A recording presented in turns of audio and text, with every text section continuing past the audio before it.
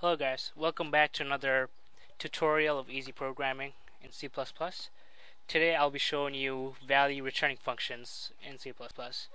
These are pretty handy, uh, you can use them for various applications and today I'm going to use my Pythagorean theorem program that I created several months ago in another video to show you how you can use it to calculate the Pythagorean theorem inside a function and send it back to the main program.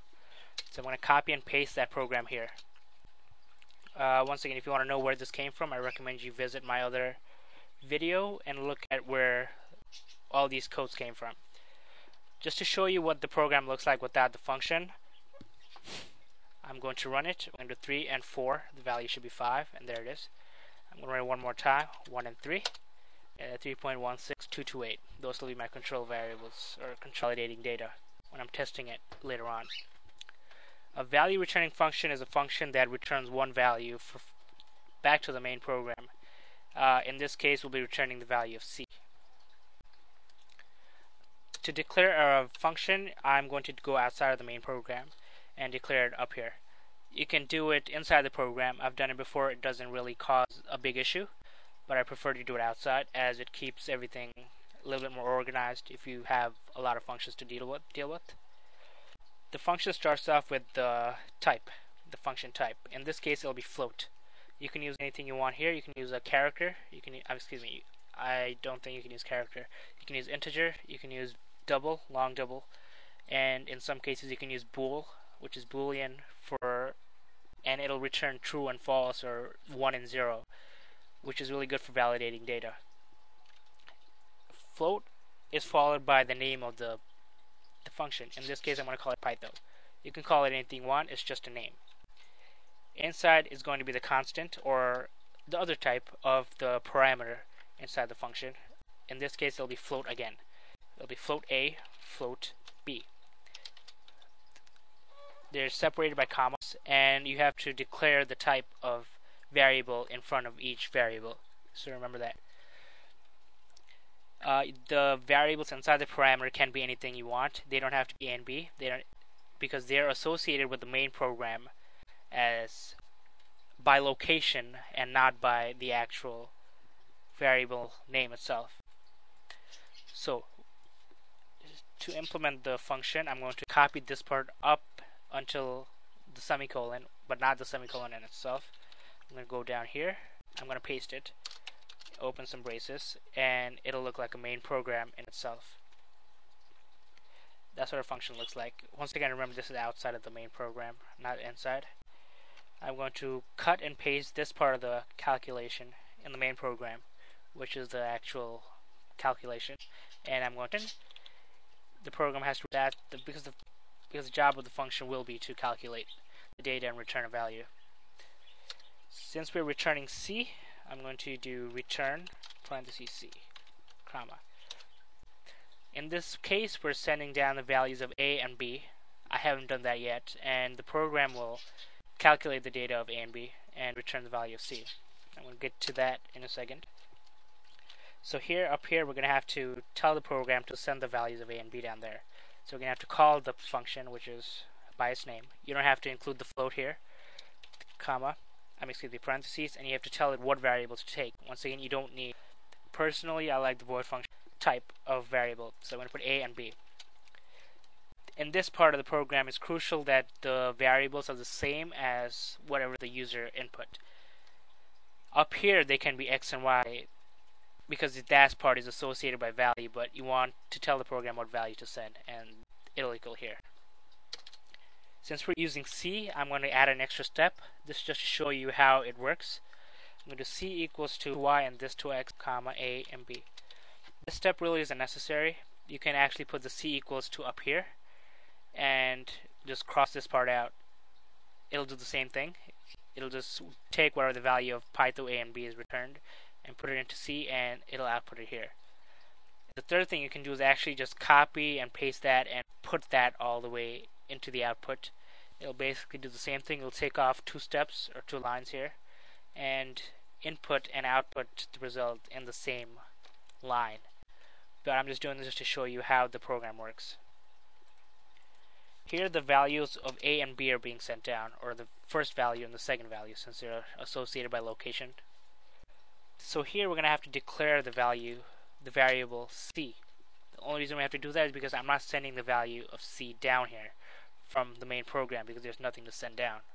It's just a blank piece of variable. You're going to have to declare down here, and I have to declare up here just so the program can output it onto the screen. And this part of the program is done. I wonder where that went. There it goes. Uh, once again, just to explain it, the user is inputting inputting values of A and B up here. The program here is sending the values of A and B down to the function here. Once again, they're associated by by location, so it'll be the first va variable here, the first value, which is here, and the second value. Since this is located by, since this is connected by location, you can change the A and B to X and Y to D and C. It really doesn't matter. So once it gets the value, the program calculates it. A squared plus B squared. And it gets the value of C, and then C is square rooted in itself. And we get the final value of C.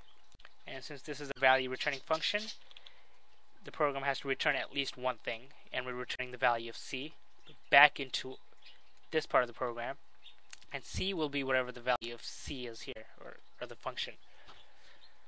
But just so that I don't confuse you, the value of C, this isn't the same as here.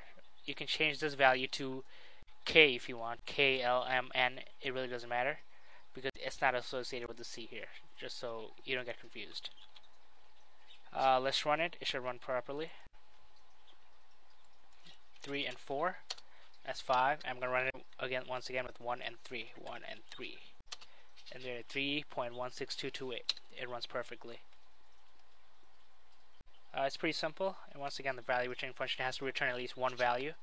If you have a program where you have to send back multiple uh, multiple uh, values, I recommend you don't use the the value returning function, instead use the void function. You can send back as many values as you want back into the program using the parameter list as references. You can do that in inside the value return function as well, but it's not really it's not common practice of programmers. Uh, I'll show you how the void function works as well. Personally, a little bit more because you don't have to return anything, and you can actually output data onto the screen through the void function rather than sending it back if you feel like doing that and you can have as many functions as you want. Uh, I hope that this explains a little bit more about value returning functions and how it works. Uh, but uh, to take a little bit further, I told you that these variables can be little can be anything you want. So I'm going to show that to you. I'm going to do x and y. I'm not going to touch any of these here. Those are off limits. I'm going to go down here change this to x and y since they're associated by location. So the value of a is 5 is going to send down the first value down here and since this is the first value, first variable, it'll be 5. So x will equal to 5 as well. And b is 10, y will equal to 10. is by location. If I change this to y and this to x, then the then it'll reverse, but a and b will always be the same. But remember, we have to change these values as well. a is going to be x and b is going to be y. I'm going to keep, uh, I'll change, I guess I'll change c2. We'll do z, z, z, z, and return the value of z. So the value of z will be returned to this part of the program, and c will equal to z. Let's run it. It'll be the exact same thing. I promise you that. It'll do 3 and 4, 5, and 1 and 3. 3.16228. It can be anything you want. Let's do 56 and 128. There, 139.714. There, it's pretty simple. Uh, once again, you can change the type of function to anything you want. And inside these functions, you can actually send back more than just float. You can send back characters, strings, more integer. You can set the parameter list as big as you want, as big as you need it. Hopefully in the future I'll show you a little bit more complex program with functions. Functions are fun once you know how to use it. They can be handy. It can help you pretty up your program. uh, very well, uh, much better than arrays. You can also use arrays and functions as well. Hopefully, I'll get to show that to you as well. Uh, if you have any questions, remember you can always ask me. You can always visit my website at easyprogramming.net. You can email me as well. I always respond to emails and comments to my videos. Thank you for watching. If you have any recommendations or suggestions on what I should do for my future videos, feel free to let me know. Uh, thanks for watching and remember to subscribe.